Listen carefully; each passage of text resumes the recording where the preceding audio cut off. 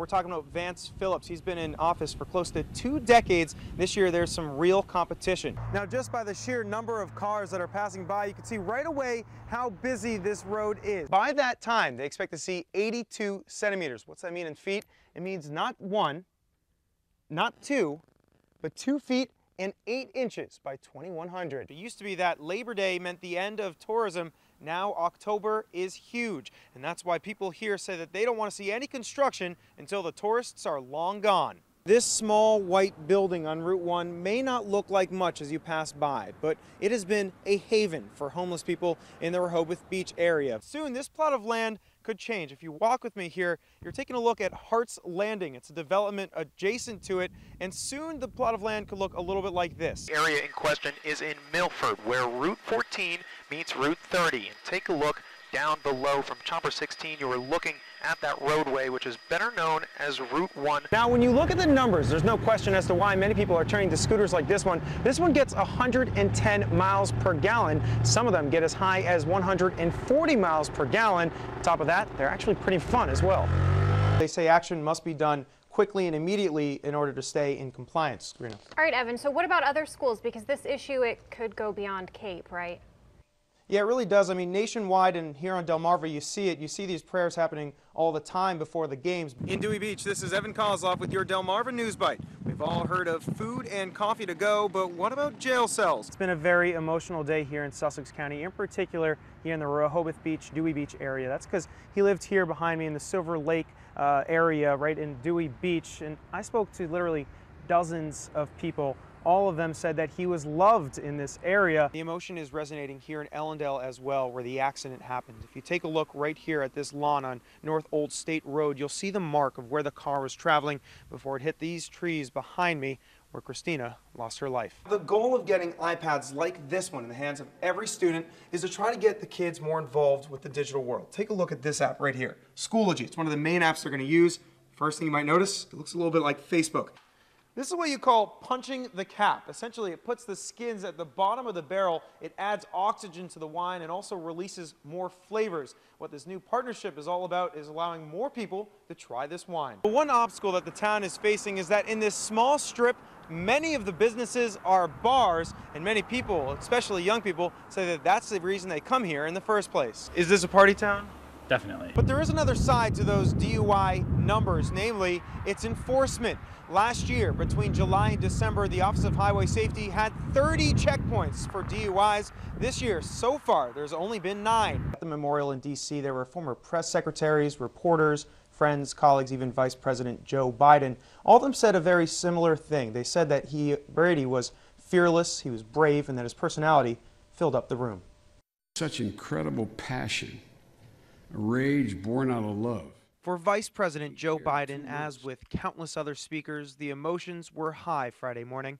At the museum in Washington, they remembered their dear friend, James Brady. The bullet of that would be assassin left him robbed of so many of his faculties and as so many other victims of gun violence, but it didn't uh, rob him of his voice. But Brady's passing has many local ties as well. He lived right here on Silver Lake in the Dewey Beach area, and many close friends say they remember him for his charm and big personality. And I spent a lot of time right here on these decks. Uh, if you can imagine a small town mayor getting advice from a uh, presidential press secretary. That's Bob Frederick, former mayor of Dewey Beach and a longtime friend of Brady. He says there are countless words for his friend fearless, kind, and just plain funny. One of my favorite stories is, and I think the rumor is still alive today, but uh, Jim would call from this house and get a pizza delivered. And of course, when they would always end it and ask what your name is, he would say Cal Ripken. And to this day, I think people still think Cal Ripken was somewhere up here, which I don't think he ever was. Jim was a very uh, gregarious man. And this love and admiration was shared by neighbor Sandra Smith, Despite Brady's debilitating injury, she says he was never bitter. He never complained. He was a person who uh, was very positive and optimistic, and you would never have known that anything had ever happened to him. And that's why I, I think he was a lesson to us all. He cared too much. From Washington to Delmarva, Brady is gone but not forgotten. Now, in the 30 years since he's been shot, he and his wife were advocates for gun control, so much so that his work led to a federal law requiring background checks on all handgun buyers. That now bears his name. From the Sussex County Bureau, this is Evan Koslof for WBOC News. Back to you guys. Evan Koslof, thank you. Those two words are look again. It's a very simple message, but her father says it's a message that could have saved her life. And if you take a look over here, you'll see the memorial. Obviously, it's full of flowers and messages of love. Now, the accident was close to three years ago, but her father says that the wounds are still very fresh. And Brielle could care less. Nils Mulford can't help but tear up as he looks at photos of his daughter. Uh, my emotion is love. I miss, I miss, I miss my little girl. They're happy memories, moments stitched in his mind forever. On November 23, 2011, though, a more painful memory comes to mind. His daughter, Alexis Brielle Mulford, 16 at the time, was killed at this Seaford intersection, hit by a car in her blind spot. I've got a doctor that's telling me that you, you just need to sit down. You need to sit down. And I told her no. I need to see my daughter. Just, just tell me where my daughter is. And uh, she says, your daughter didn't make it. At first, Mulford says he was lost. He was looking for meaning in her death. Then one day in Salisbury, he says he found the sign he was looking for. And as I start to go across the intersection there, I see this look again sign. And I'm like, this is a sign from my daughter. So Mulford made some calls. He found out that these signs are all over Maryland, but in Delaware, they are rare. For two years, he fought for them. He spoke to county leaders, state lawmakers, and even DelDOT, anyone who would listen to his plea. And then, after two years, it happened. Six signs just like this are now posted at the intersection where his daughter had lost her life. The only thing we ask as parents is that they get a fair chance. This sign, this sign gives kids a very inexpensive fair chance. Two words Mulford hopes can help save lives. Now, back out here at the memorial, Mil- Mulford says that these signs are more than just a tribute. In fact, he says they've led to an accident rate decrease at dangerous intersections in Maryland of about 40%. Now he hopes to bring that here to Delaware. Sussex County, this is Evan Koslof for WBOC News. Back to you guys. Judge Stokes in Sussex County will have quite a big decision ahead of him in the next couple of months, and it all has to do with this plant right here. I'm sure you could see the iconic Vlasic Pickle logo. Now, many neighbors are fighting to make sure that the Allen Harim logo doesn't come here. Jay Myers pushing on 35 years living in a picturesque home on the Indian River. And sometimes he likes to just sit, sit and admire the Indian River. Oh, it's a heartbreaker. It's a heartbreaker to know that everything he worked so hard for is about to be destroyed. He's talking about a legal battle that he's led for the past couple years. Just a block away from his home is the plant in question. DNREC has given Allen Harim the green light to set up shop inside this building and to start dumping in the Indian River. Meyer says that this would be a problem. 12 million gallons of wastewater every week for the next 30 years. Why would they allow something to be dumped in the river like that for the next 30 years? But the appeals board disagreed. They referenced a 5,000 page report from a consulting company which outlined every step of the remediation process. That report said that there would be a limited environmental impact on the waterway. I feel pretty good about what they're promising. And many, like Millsboro Mayor Bob Bryant, say the offer is just too good to turn away. WBOC reached out to Allen Harim, which tells us that the company already employs 1,000 Delawareans.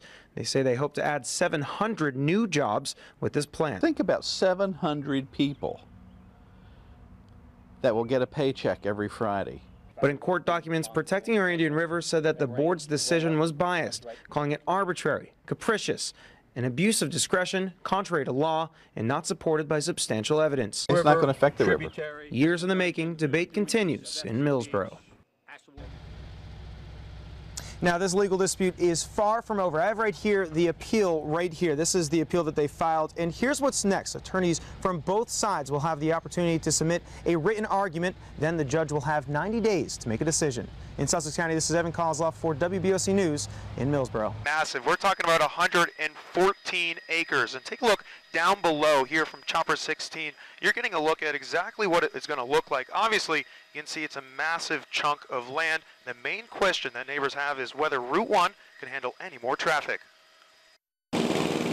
Terry August is busy keeping his Milton home in tip-top shape. He lives in this neighborhood, the Red Fox Run development. And down the road is this, farmland on Route 1, which is the proposed site for a new mega shopping center. August says the center would mean more traffic woes. It takes us forever just to get out of our subdivision during high season. It's not going to get any better, definitely going to get worse. Where are the people going to come from? That's a sentiment understood by George Barty, who lives in the same development. He says he'd consider moving if the center came to town. The fear is that we may have to move out of here sooner than I thought because it's, the traffic is going to be unbearable. And just to put perspective what this 114 acres will look like, if you combined all the Tanger outlets together, it would equal about half the size of this lot. But for some, like Terry Conroy of Lewes, the prospect is not only acceptable, but exciting. That goes back to this whole, not in my backyard, uh, mentality that a lot of people have. They don't. They only see it through their own prism. They don't see it through the prism of the whole area. Also of Lewes, Abby Firestein says that she too is on board with the shopping center, adding it's all about location. I think in this area, the development in terms of commercial development should be limited to the area where there's already commercial development, meaning Route 1. The mix of opinions over the future of this land. And back up here in Chopper 16, don't be surprised to hear a lot more about this development over the next couple years. The first planning and zoning public hearing on this issue will be on October 9th, and this could mean the start of years of debate here in Sussex County. In Chopper 16, this is Evan Koslof for WBOC News. Back to you guys. Debate lasted close to an hour, and each of the candidates answered six questions. The central focus to all of it is whether incumbent Vance Phillips is right for the job. Here they are, the four candidates for District 5, gathering here at the Sussex County Bureau to face off in a debate. Incumbent Vance Phillips has been in office for 16 years, and he says he's been an advocate for small government and low taxes. We would expect all the candidates to say that jobs is the number one issue, but I'm going to suggest that maybe there's something behind that problem. I call it liberal creep. The liberals have taken over Washington, D.C., and they're primarily on the Democrat side. Phillips faces an impending civil lawsuit in February where he's accused of sexual wrongdoing by a female intern. on the West. Republican challenger Rob Arlett did not reference the lawsuit at the debate, but said Vance's office lacked integrity and leadership. I believe beyond the vote, the question is what's most important for the Councilmanic 5 district. I think it's who you're voting for. I, I believe we need much better public officials than what we've had, specifically within Councilmanic 5. We have to start doing something. Meanwhile, on the Democrat side, chairman of the County Planning and Zoning Commission, Bob Wheatley, said party politics will only hurt the county. He says his knowledge on land use makes him the perfect fit. Facilitating the economy, facilitating jobs, if it could be done with low taxes and limited government, which we've had for 40 years, then we wouldn't be talking about this. So that's not the sole answer to the issue. Have to be all updated. Also a Democrat, Dagsboro Mayor Brad Connor says his local experience makes him more responsive than the other candidates to the needs of the people in the county. This idea of party is new to me because I've always just worked for people. And in working for people, what you find out is that you get a lot of things done not worried about what anybody, we never discuss what party it is. The people that we have in office right now are partisan to the eighth degree. The primary just a day away, debate continues to rise in Sussex County. Now, once again, that debate lasted close to an hour, and we will have more coverage of that debate a little later on tonight. From the Sussex County Bureau, this is Evan Koslof for WBOC. Back to you guys. All right, Evan, thanks very much. Big day tomorrow for Delaware candidates.